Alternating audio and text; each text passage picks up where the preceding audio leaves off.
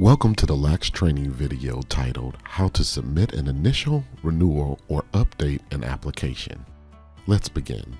In this training, you will learn how to update or renew an application, how to update license or certification information, how to save an application, and how to upload documents. Let's start by looking at how to create an application. First, you need to log into LACTS. The horizontal menu along the top lists all the types of applications you can start. For this example, we are going to go with a residential application. Simply click on residential and then click on initial. At this point, you are presented with a screen that asks you a few questions to automatically determine the type of residential facility classification you should be applying for. Once you answer all the questions, you will be presented with a determination. If you agree, simply click the button labeled Accept and Continue. If you have any questions about the determination or think it is incorrect, contact the phone number on the screen. Once you click Accept, you have started your first application. As you continue, the next few screens will ask you questions and require you to upload documents to complete your application. Next, let's talk about how to update or continue an application. Applications that can be continued or updated will be in the Applications and Drafts section of your LACTS homepage. Click on that section and you will find a list of applications you have in draft. Select the application you would like to continue by selecting the edit link next to that application. That's it. You can update or edit information within that application. Next, I will show you how to update licenses or certification information.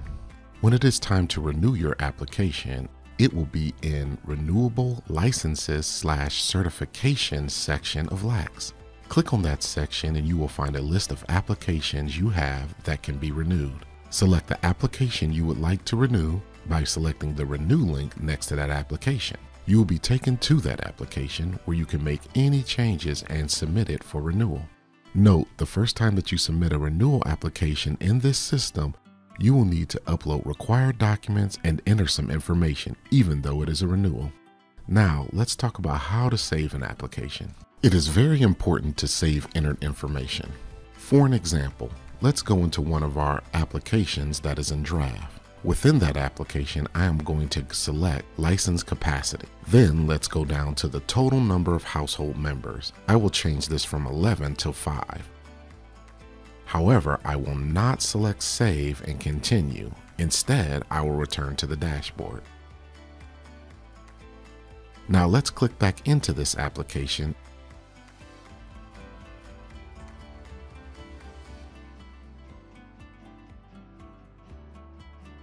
and as you can see, my changes were not saved.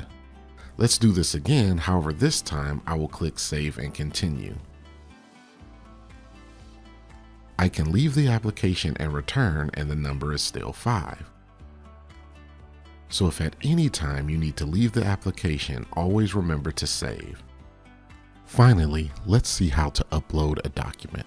During the course of completing an application, you will be required to upload documents. To do this, let's go back to an application.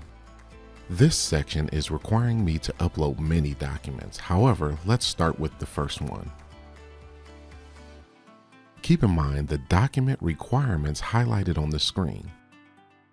So, the first document they are asking me to upload is my accrediting body survey reports.